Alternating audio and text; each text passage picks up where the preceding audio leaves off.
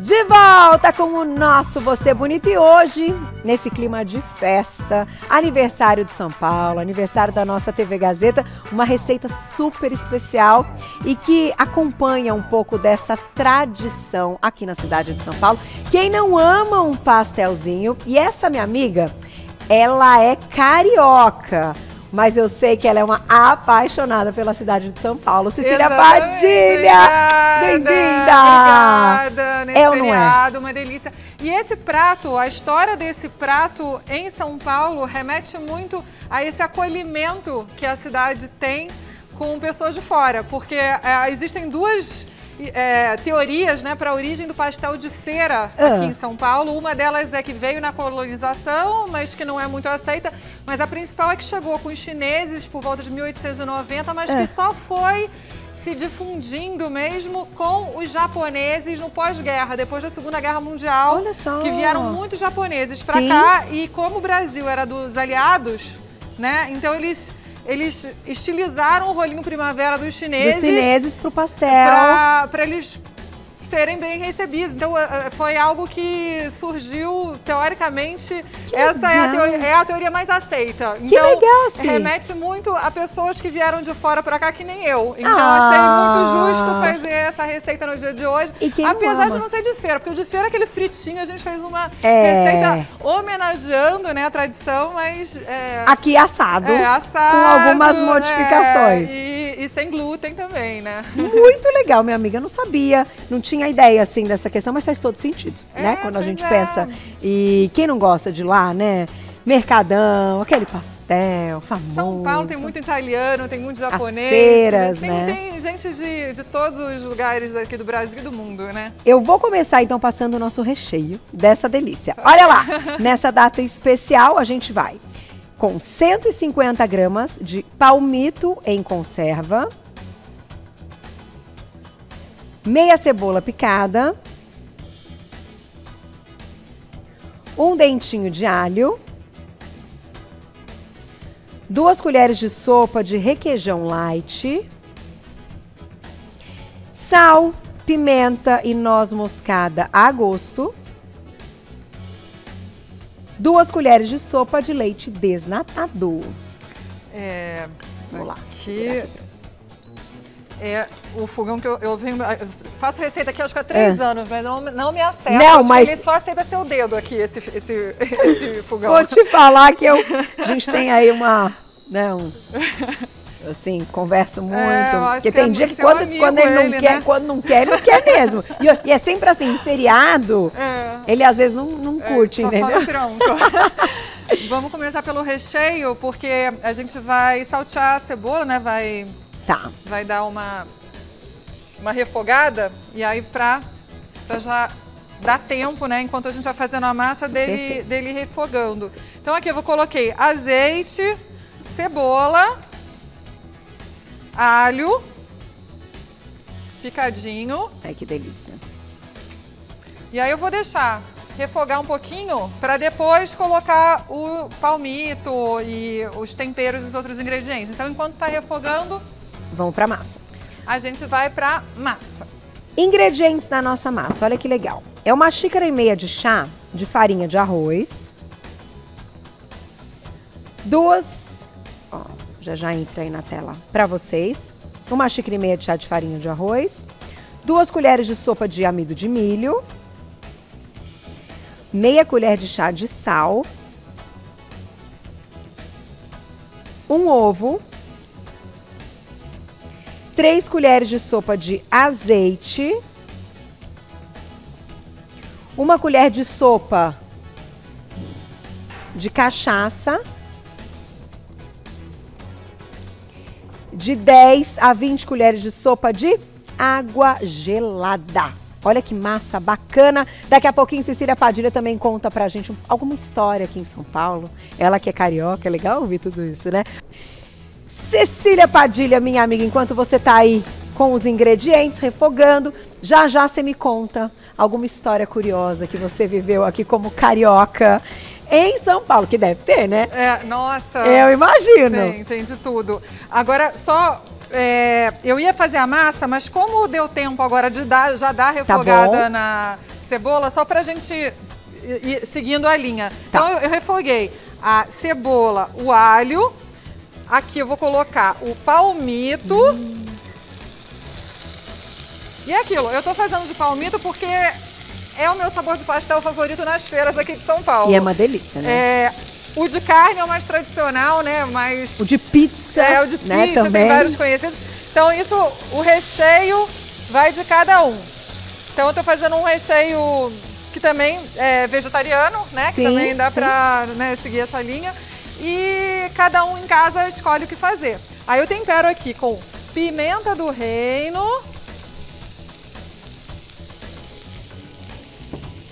sal, noz moscada. Hum, cheirinho bom. Reque, requeijão light. Hum. Eu e posso aí, roubar pra... um ali já? À vontade. Eu vou roubar, nossa. Aqui, eu, hein? Leite desnatado.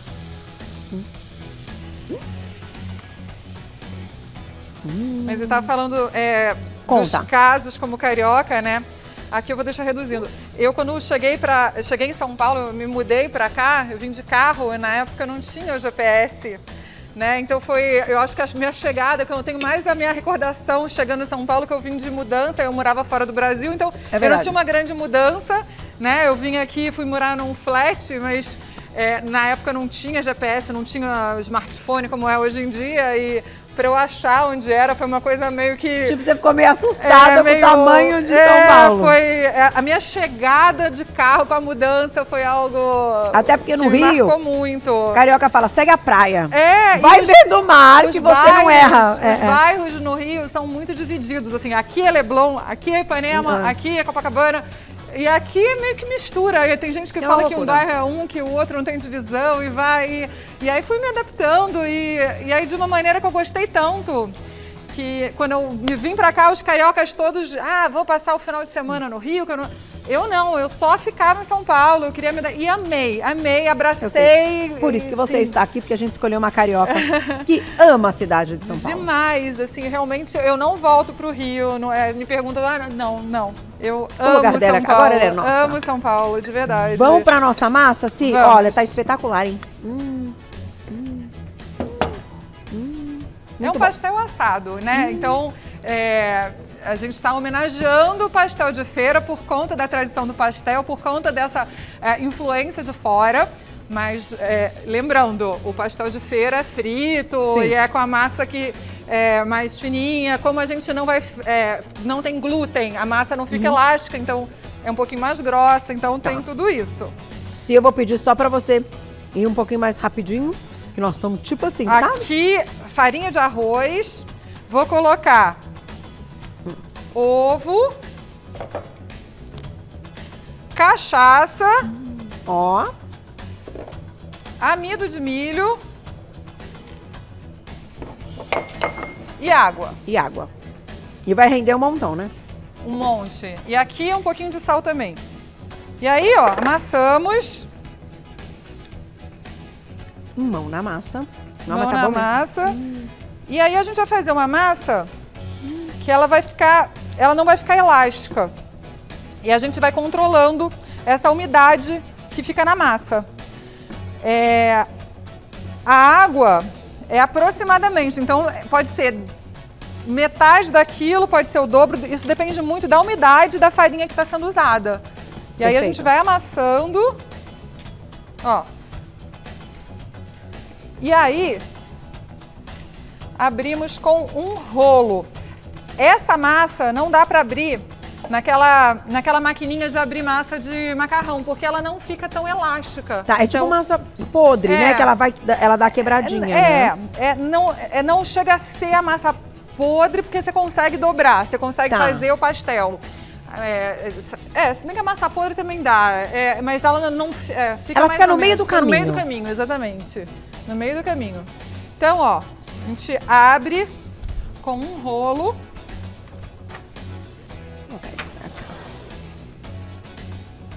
Ó, com o rolo. Quem não tiver rolo que nem esse, pode usar uma garrafa, alguma coisa similar. E aí com um aro, ou com uma xícara, ou com alguma coisa, a gente vai e corta. Como é uma massa que fica quebradiça, pra gente tirar, a gente pega... Ah, dica boa. Tá aqui. Tá. Já tá aqui. E aí, colocamos o recheio. Cheirinho bom esse recheio, ó. o recheio. E aí a gente fecha. Bem a gente coloca na assadeira. Na assadeira. E vai sair um quentinho. Vai sair um quentinho. E aqui na assadeira, ah. eu vou colocar um pouco de azeite por baixo e por cima. Tá, eu vou só que tirar ele não vai, mas ele vai ficar com um toque mais crocante um pouco por fora. É então, um segredinho o azeite. É, só para dar um toque crocante por baixo e por cima. E aí, e... colocamos aqui no forno. Quanto tempo? mais ou menos uns 20 minutos a 200 220. Tá. Bem alto o fogo. E aqui sai um quentinho. Deve dar certo na fritadeira. Sim, né? também. Ó, tá bem quente esse, minha amiga. Vamos já deixar esse aqui. É aqui. Forno bem quente e aqui... Os nossos pratinhos. É. Glaucia disse que a gente já pode experimentar aqui, porque eu queimei largada, né?